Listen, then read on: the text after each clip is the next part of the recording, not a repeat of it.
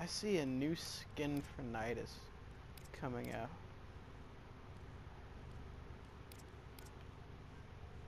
I can I, I just